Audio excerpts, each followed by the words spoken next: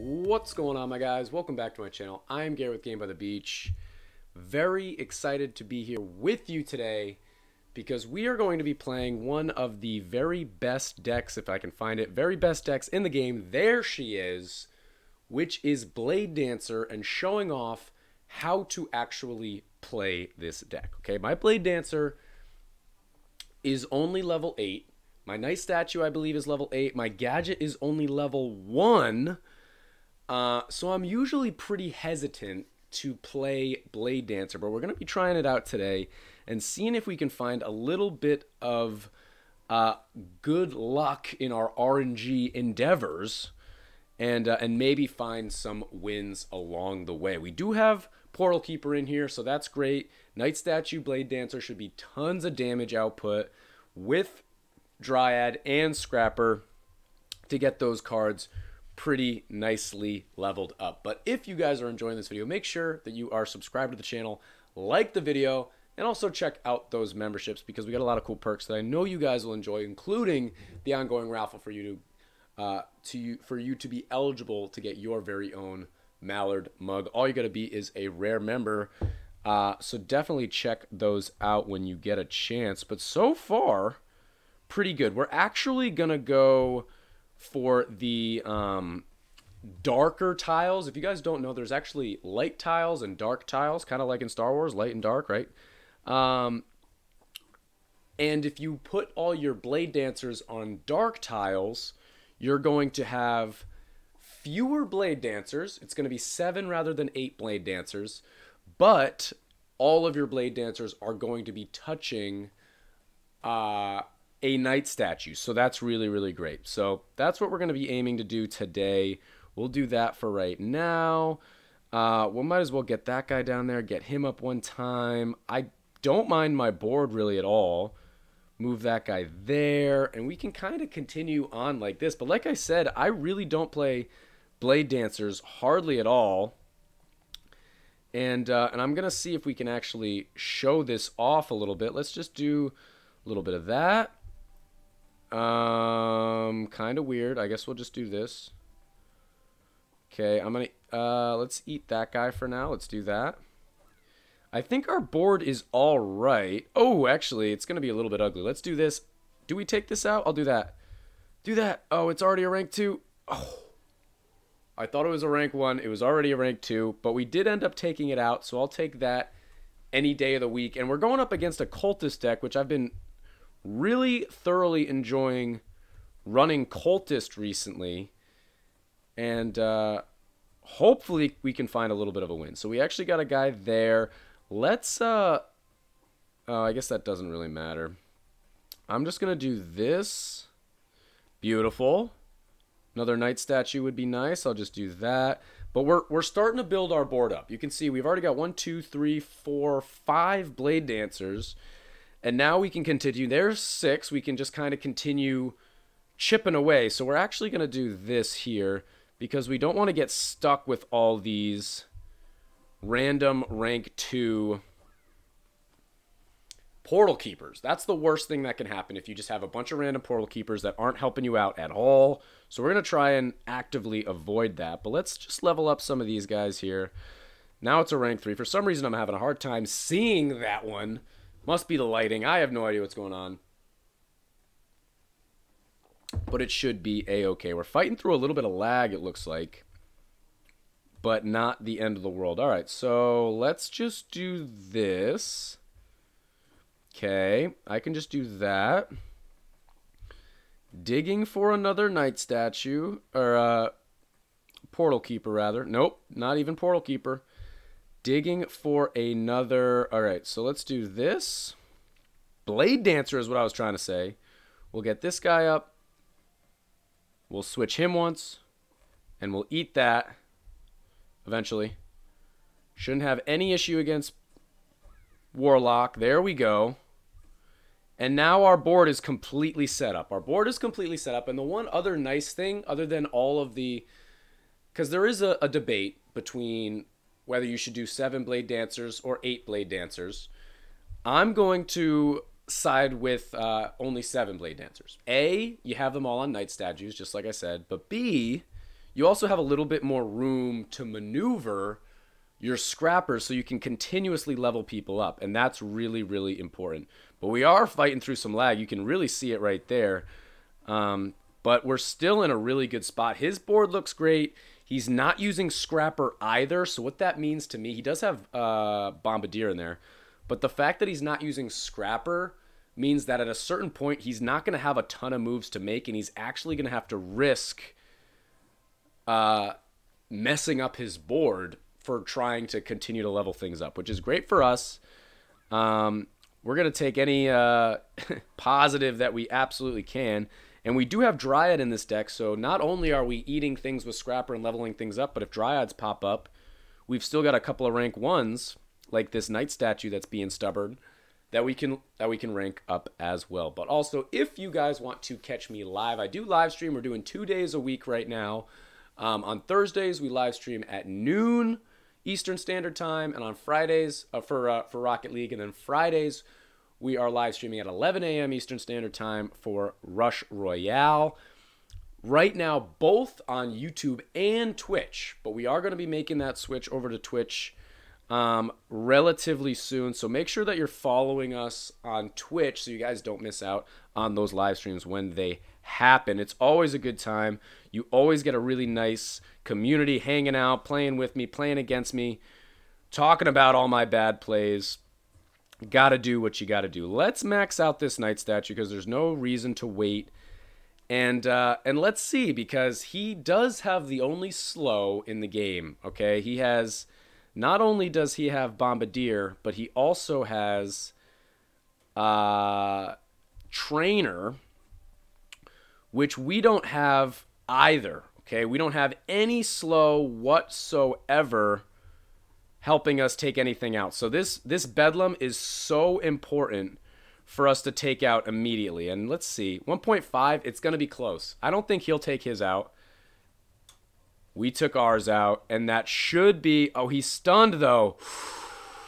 He took his out as well. So his Bombardier saved him right there. He had about 1.1 mil. I had 1.5. So he's actually taking things out quicker than me, which is the Blade Dancer single target versus him using Cultist for the multi target. So we got to keep an eye on that for sure. But let's continue to try and level things up. We need to, we really need to push ahead in this wave and uh, that's the only way we're going to win because we've got no slow. And Blade Dancer honestly falls off a little bit late game, especially against Bannerlords because of all that crit that uh, not affecting Bannerlord. So we took that guy out finally, which is good. At this point, there's no a little bit of lag. No point waiting for um, that Dryad to try and do something. But I think we did end up claiming the victory here. There it is.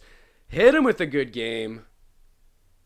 Definitely a little bit of, uh, of lag there, but uh, we hit him with a good game. We did take that victory, and checking out the damage, yeah, we, are outdoing him a little bit here and there, but uh, but still a pretty close game. So guys, that's the best way that you could use this deck. We're gonna jump into another one, of course. This may very well be the deck that we're going to be trying to push with um, for the maybe the rest of the season, maybe just maybe the rest of the season, because it's one of the best decks. Perfect example. We're actually playing against an exact mirror match right now. Uh, but this guy's got the new hero, which I don't even know what the I don't even know what this guy does. What's it called? Mary? It's just called Mary, I think. Super weird. Um, but we're gonna we're to see what we can do, and maybe, just maybe, we can find a victory here as well. But I hope you guys are having a fantastic morning, evening, night, wherever you are around the world. Thank you guys for hanging out, chilling by the beach. There's nothing, nothing better than hanging out by the beach. I guess it would be better if uh, maybe if we could actually find a blade dancer. He only has one blade dancer. Neither of us are running um, Harlequin. So we can't copy out Blade Dancers, but I don't have any to copy right now anyway, so that doesn't really matter. Um, but since we don't have uh, Snowflake in here, early waves can be really, really scary. So you got to be careful. Let's just do that right off the bat. At least we found a couple that's super important. And that might be enough for us to hold off Puppeteer. But we'll have to see. I might actually combine out this way. See if we can get another Blade Dancer. That'd be really, really good. Let's get this guy up one more time. I really want to take out this Puppeteer because Puppeteer moving us left or right is just super unfortunate. It's really hard to come back from uh, early stages, which we just don't want to deal with whatsoever. So we're probably going to have to combine out some Portal Keepers for, for that to not happen. So let's keep on trying to get some more units. If we can get like three um, Blade Dancers on this guy, I how did I know that was going to happen? Let's just, let's get rid of that guy. Uh, we got to get rid of this guy. Hit our gadget. Little bit of lag. I'll do that. Not ideal. I'm going to do that. All right. Take it out, please. Okay. Okay, we took it out. We still only have two Blade Dancers. He's got two Blade Dancers as well. I'm just going to do that right away because we don't we don't want to have two Knight statues. We don't want to have leveled up units. I'm going to try my best not to level up this Portal Keeper, so let's just be careful about who we actually buy. Actually, I'm going to move... Yeah, I'll keep him there, actually. And we're going to just keep on pushing here. I guess we'll get our Blade Dancer up one time. He now has three Blade Dancers. That's not fair. How does he have three and I have two? What's going on here? That means the next unit I get has to be Blade Dancer. Isn't that how that works? Blade Dancer. Nope. Guess that's not how it works. Um, I could combine out my Portal Keepers. I'm not quite desperate yet, but we're getting there fast. We're really getting there fast, so we're going to have to see. 44 seconds. A little bit unfortunate. We got a million Dryads. Okay, we have to do that. We got to do this. Wow. That is horrible. Uh, we got to do this. This is the only thing we can do. Come on, man. Nothing we could do. RNG gods were against us from the start. 10 seconds. We're trying to fight it off. What are you going to do? Sometimes it just goes like that. Hit him with a good game. Let's check the stats out. Nothing impressive. He had three blade dancers. We could not find a third blade dancer. And we're going for seven. We're not even going for three. We're going for seven. So really unfortunate right there. But let's jump into one more game. Try to cap this off with a victory uh, to finish this video off. And hopefully this time we can actually find a couple of blade dancers because that would make this video a little bit more interesting. But you can see right away, guys, we're playing against the exact same deck again. Okay, this deck is running rampant all over the meta, and I just wanted to show the deck off so that if you have all these cards, if you're having trouble, um, you could probably make a couple of substitutions here and there. But I wanted to show you kind of how I play it, what squares you're putting on, and I hope this is helpful for you guys um, in playing this deck yourselves. I, I would think it would be, but you never really know. So let's just move this guy over right away. We do already have two Blade Dancers, so I'll take that. I'll do that. I'll move that guy over. I'm going to level him up. We got Puppeteer again to start this game off. We're going to come down here. We're going to go over here. Um, let's keep chugging away. Oh, we actually had... I didn't realize we had three Knight statues. And let's see, we have two Blade Dancers again. Let's see if the the RNG gods, the Rush Royale gods, can bless us with some better luck this game because that last one was ugly.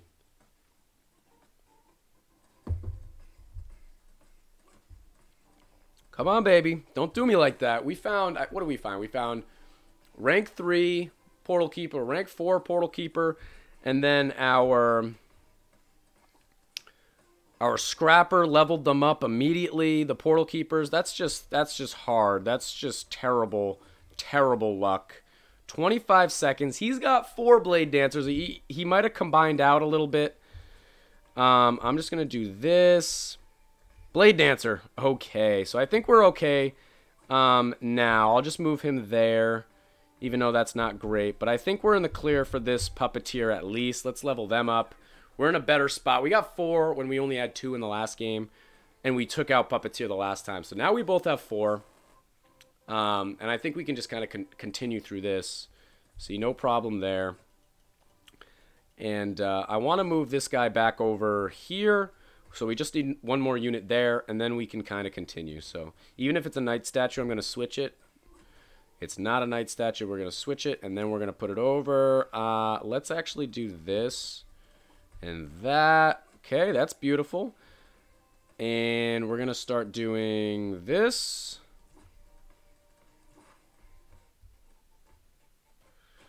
Go here. We can go... Don't exactly know the best method here. We can do that and do that. Beautiful. That and then that. And then one more here. Warlock is coming up. We can eat that guy. And now our board is perfect. His board is also perfect. Uh, so let's just max out all our units. And this is going to be a battle, guys. It's going to come down to card levels, unit levels, uh, crit damage. I don't know how much crit he has. If I had to bet, I think I have more crit. His Blade Dancer might be a higher level though, so it's like if I, you know, like if he has a level 10 Blade Dancer, I have a level 8, but I've got 2000 crit and he's got 1800, something like that. I wouldn't be surprised if that's kind of the way this game is looking, but we're going to just keep on pushing along and see if we can actually find this win. Trying to get our knight statue up next. I think that leveling up these cards here are just super, super important. And, uh, and continuing to push our gadget as well. But I don't expect at all, like I said, my gadget is level 1.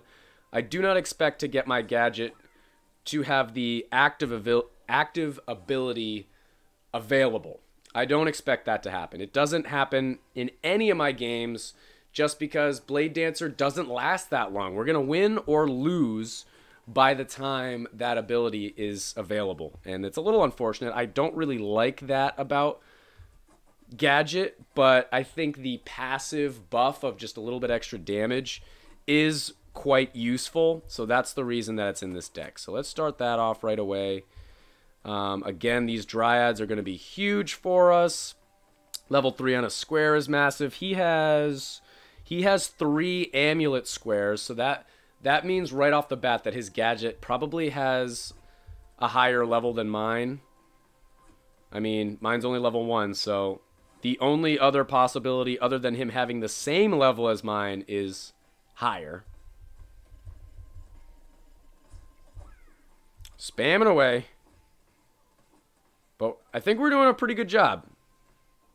I, I haven't really taken a peek at like what our card levels look like. He has a rank 4, a rank 5, a rank 2, and a bunch of rank 3s. We've got a rank 1, two rank 1s, two rank 4s, a couple rank 3s. I don't know. At this point, put it in the comments, fellas. Who do you think's win the who who do you think wins this game because it's really really close. And honestly, if the games are this close, I typically say that I lose because I usually don't have the card levels or the crit to actually overcome a lot of these close games, which is unfortunate, but it's the reality. So what are you going to do? Just going to keep on pushing here. That's all we can do, right? Let's keep going here. Get our gadget as fast as we can. I'm spam tapping on my board. There it is. Uh, we got another one here. Let's do that guy. Why not? Tribunal's unfortunate. He's taking things right out at the portal. They're getting a little further on our board, so now I'm thinking Tribunal is going to hit us, but Tribunal's not going to hit him, which is super ugly. Come on, man. Fight back towards the portal. We're really losing that bad. Look at the difference. 10 seconds. Oh, my Lanta. Come on, baby. Come on, baby. Fight back to the portal. I think we are making a little headway. Four seconds. Come on! Do we take this out before it hits? Nope. Oh, so that's a GG. 100% this is a GG. I took a hit. He didn't. His card levels gotta be better. He's got two rank 5 knight statues where I've got two rank 2 knight statues. So I don't even know what else I could have done here, but we're definitely losing. Uh, it's so unfortunate. We need one more unit so I can move him around. We're losing traction so fast. Okay, we can just eat that. We can eat that. Come on, baby, fight back. Gorgon could be interesting. Not really.